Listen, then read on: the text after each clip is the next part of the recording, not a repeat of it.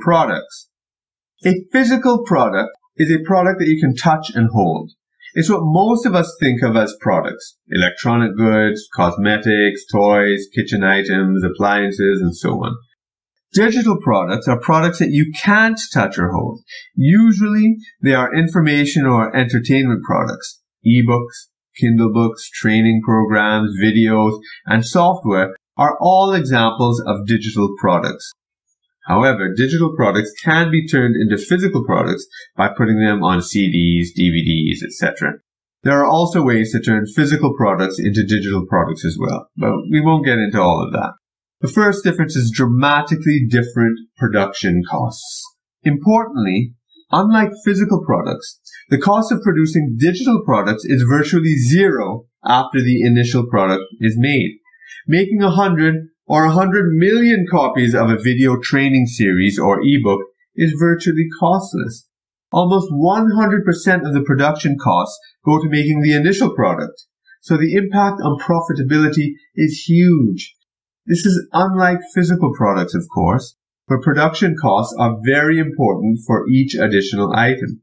In addition to the monetary cost is the cost in time. Production time is very important when you're selling physical products.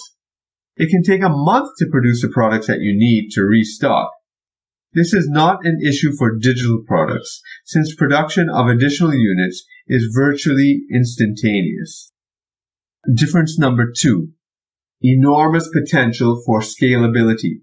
Because there are virtually no production costs, you can quickly move from selling 10 units a day to 10,000 units a day very simply without putting any stress or strain on the production process. The same digital product can be sold over and over again because it's just a matter of making an instantaneous copy. There is no difference between a copy and an original for a digital product.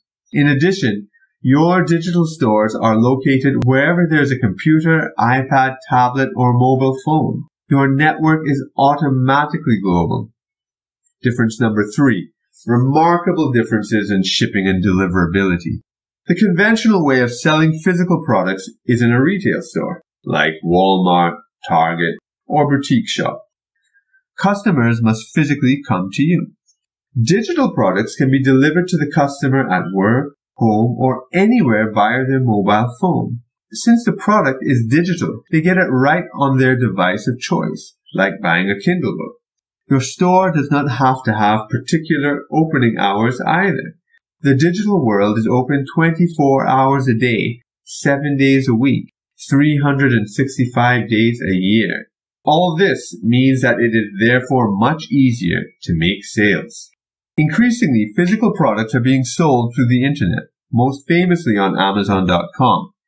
This is part of the crossover of the digital and physical worlds. For physical products, shipping costs are also an issue, the method, whether it be by air, land, or sea, and the time to ship.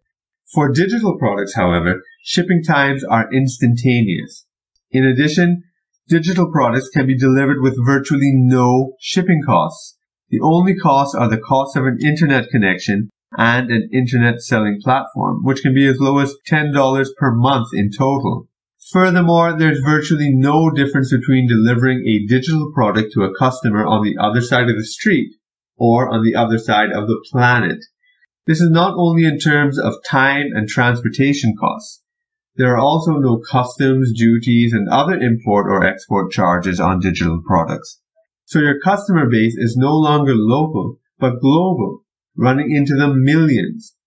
Combined with the easy scalability of digital products, this potential is astounding.